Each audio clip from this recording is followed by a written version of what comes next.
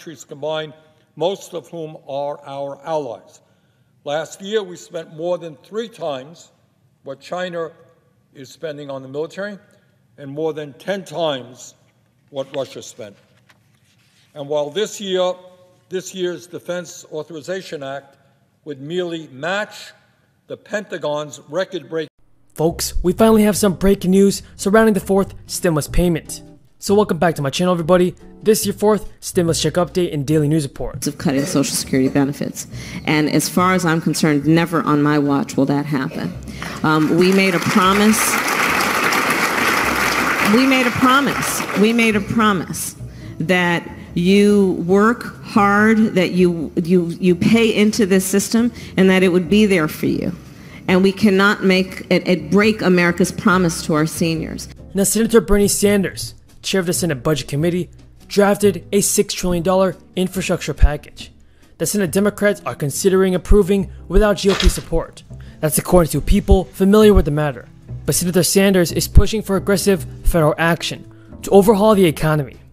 After a meeting with Senate Democrats, Bernie Sanders said, We have an enormous amount of work in front of us. Bernie Sanders talked about federal intervention on things like climate change, affordable housing, and urgency to level the playing field for average families. Bernie Sanders also stated that Democratic efforts to approve a party line bill and reconciliation would commence within weeks.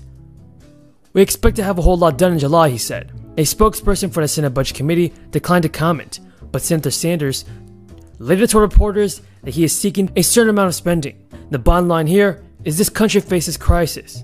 Working families are struggling, and it's about time we paid attention to their needs.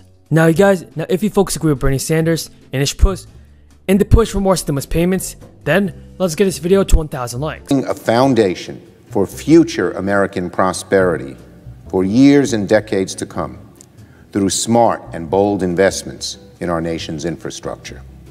As I've said for weeks, the discussions about infrastructure legislation continue. Reconciliation is a legislative tactic that only requires 51 votes, though it involves strict budgetary rules.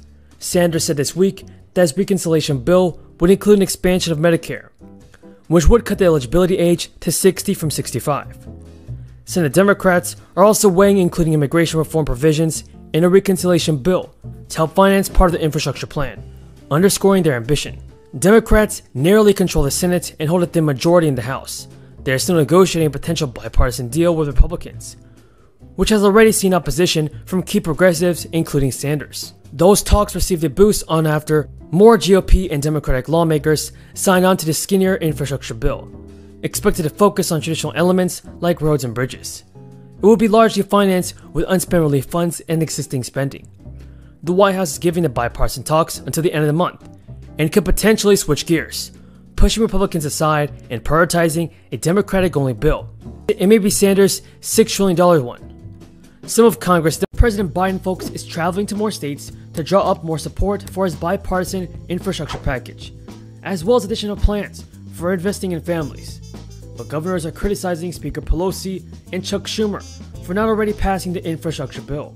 What are your thoughts on Speaker Pelosi, everybody, and the Democrats? And who do you think is holding back our stimulus check?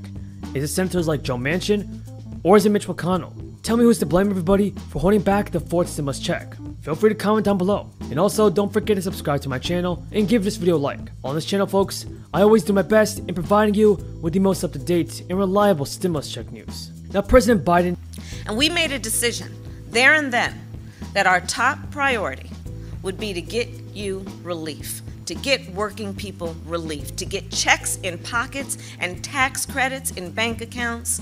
And with the help of this labor union, we delivered that relief. And I want to thank you on behalf of the President and myself for the work you did. Just talked up his bipartisan infrastructure package, as well as additional plans for investing in families and education. President Biden is on a trip to Michigan it's part of his broader campaign by the administration to bring public support to the infrastructure package and other policies that are geared toward families and education. First Lady Jill Biden is going to Maine and New Hampshire as well, while Vice President Kamala Harris is scheduled to visit a union training center in Las Vegas. Joe Biden said the key is getting his $973 billion deal passed involves taking a case straight to the voters, while Republicans and Democrats might squabble in Washington Biden's theory is that lawmakers of both parties want to deliver for their constituents. White House officials negotiated the compromise with a bipartisan group of senators led by Republican Rob Portman of Ohio and Democrat Kyrsten Sinema of Arizona. The agreement features $109 billion on roads and highways, $15 billion on electric vehicle infrastructure and transit systems, and $65 billion toward broadband, among other spending on airports, drinking water system, and effort to take down climate change. The White House officials negotiated the compromise with a bipartisan group of senators led by Republican Rob Portman and Kyrsten Sinema. There is a move not to preserve Social Security from those on the other side of the aisle, too many of them, but to end it. The president intends to pass additional initiatives on education and families, as well as tax increases on the wealthy and corporations through the budget reconciliation process. This would allow the passage of President Biden's priorities by a simple majority vote, avoiding the 60 vote hurdle and a Senate split evenly between Democrats and Republicans. But during a town hall meeting, Maryland Governor Larry Hogan toward House Speaker Nancy Pelosi and Chuck Schumer for holding the bipartisan infrastructure bill endorsed by Biden in order to gain leverage on other spending bills. Larry Hogan spoke about the $953 billion infrastructure bill that was endorsed by Biden, saying the plan will put Americans back to work and will improve the American infrastructure. Hogan called the bipartisan bill a moment for us to show the American people that Congress is able to work together to deliver bipartisan, common sense solutions to all of our problems. What are your thoughts on Speaker Pelosi, everybody, and Chuck Schumer? Are they doing all that it takes to help out the American people like you and I?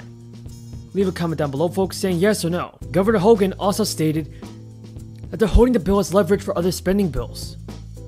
That we can debate about whether these are worthwhile proposals or not. But they have nothing to do with infrastructure and they don't have bipartisan support. The governor of Maryland then talked about President Biden, saying that instead of taking the huge win they seem to have wanted to make happen, President Biden is risking the derailing of the bipartisan agreement. Well, folks, the White House pointed to comments the press secretary made that Press Secretary Jen Psaki made on Tuesday, where she stated that Biden made clear that he's going to work his heart out on getting both bills across the finish line. In regards to your tax refunds, folks, the March American Rescue Plan excludes the first $10,200 of unemployment benefits as non taxable income. The tax agency said at least 13 million people who filed their tax returns before the change in law took place may be eligible for a refund. The tax break is for those who earned less than $150,000 in AGI, or just the gross income. The $10,200 is the amount of income exclusion for single filers, not the amount of the refund. The amount of the refund will vary per person depending on overall income, tax bracket, and how much earnings came from unemployment benefits. Folks, that's all the news in this video.